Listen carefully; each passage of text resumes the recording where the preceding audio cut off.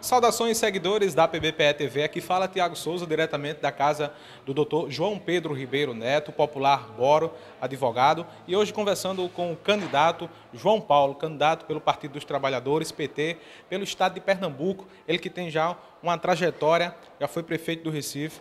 É... João Paulo, como é que é, é voltar, estar tá na política e concorrer a uma vaga na Alep? Como é que é?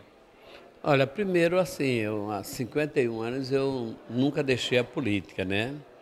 É, nunca deixei, eu digo da boa política, de lutar em defesa do povo, pela moradia, pela educação, pela saúde. E agora tem a diferença, né? A diferença entre o legislativo e o executivo. Então, uma coisa era ser prefeito de uma cidade e a outra coisa é você estar no legislativo é, fiscalizando o governo, propondo, analisando projetos e propondo também projetos de lei. Então, acho que o, o mandato de deputado estadual, para mim, tem um significado muito especial. É, eu primeiro fui vereador do Recife, né, dois anos depois, logo depois me elegi deputado estadual. Aí tive três mandatos de deputado estadual, os dois mais votados do Estado. E sei bem qual é a diferença em ser deputado estadual e ser prefeito da cidade do Recife. Então aprendi muito, foi por isso que eu saí com 88% de aprovação quando fui prefeito do Recife, o primeiro prefeito reeleito da cidade. E o nosso governo ficou conhecido como a grande obra é cuidar das pessoas, porque cuidamos da saúde, da educação, da cultura, do esporte e lazer. Então, é, essas diferenças você tem que se situar a partir de onde você está no momento. E a minha candidatura, na verdade, é para reeleição a deputado estadual. É, neste caso, como é que está sendo a caminhada por todo o estado de Pernambuco? E eu observo que o senhor é, tem o seu candidato deputado federal, Fernando Ferro, a qual é, tem um grande trabalho aqui na cidade de Itambé, na Mata Norte. E a Tereza Leitão, o Lula, como é que o senhor vê essa, essa conjuntura do PT, os seus companheiros aí, de uma forma geral no Estado? Olha, eu, eu vejo o seguinte: primeiro, o nosso companheiro e camarada deputado Fernando Ferro é um companheiro de muitos anos de luta. Nós fundamos a CUT junto, iniciamos a retomada do movimento sindical junto, fundamos o PT, fundamos a CUT, né? É, eu fui vereador, depois ele foi vereador, ele foi deputado federal, eu fui deputado federal.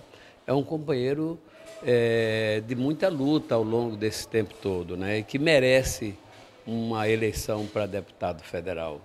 Quanto à conjuntura política, eu acho que não tem muito assim o que discutir. Nós estamos vivendo um cenário de guerra o povo está sendo altamente massacrado por esse genocida, por esse psicopata que é o presidente Bolsonaro. A nossa população, 36 milhões de pessoas, estão na miséria, sem ter o que comer. Mais de 100 milhões vivendo a insegurança alimentar, não é? É milhões de desempregados, a taxa de suicídio crescendo em 27%.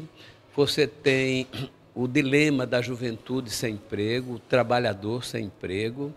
Então, é uma, uma situação de falta de, de respeito das outras nações com o Brasil, pela forma como ele negocia, o estímulo da violência, do ódio contra a, as minorias da nossa, do nosso país, né? um ataque sistemático, homofóbico?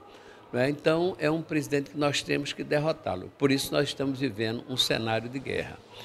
E para viver esse cenário de guerra, nós temos que ter uma compreensão. Nós temos que ter a compreensão qual foi a principal tarefa dada pelo presidente Lula para nós aqui. Ele que é o grande comandante do processo.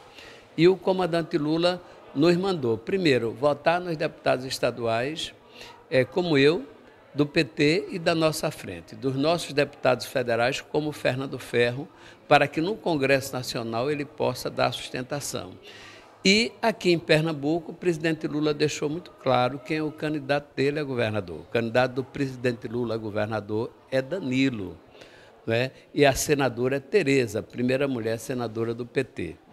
É difícil? Foi difícil? Foi. Não é? Nós tivemos bastante divergências com, com o PSB em eleições bastante polarizadas. Isso nós não podemos esconder. Agora, eu pergunto qual é a família que não tem uma briga, não tem uma discussão internamente. O que eu acho que é importante agora é a essência da nossa disputa política, que é o projeto nacional, não é? E a, acredito que o presidente Lula deixou essa mensagem muito clara. O candidato dele aqui em Pernambuco é Danilo e é Tereza e somos nós. Para finalizar, eu gostaria que Vossa Excelência falasse de seus projetos na Assembleia.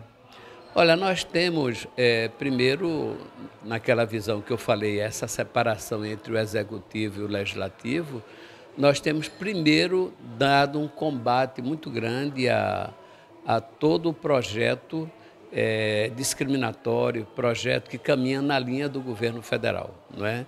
é projeto racista, projeto discriminatório, projetos homofóbicos. E tenho apresentado os projetos no sentido, às vezes, projetos polêmicos, como projetos da cannabis, por exemplo, que é um projeto que garante a produção do, da medicação para a população pobre que não pode comprar.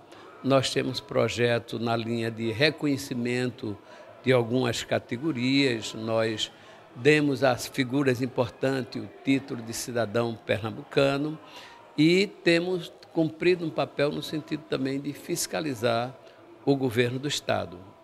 Muito bem, obrigado, João Paulo. É, candidato a deputado estadual pelo PT de Pernambuco, imagens de Bruno Nascimento, Tiago Souza para a sua PBPE TV. Não esqueça de curtir, comentar, compartilhar, ativar as notificações e acessar também pbpe.tv.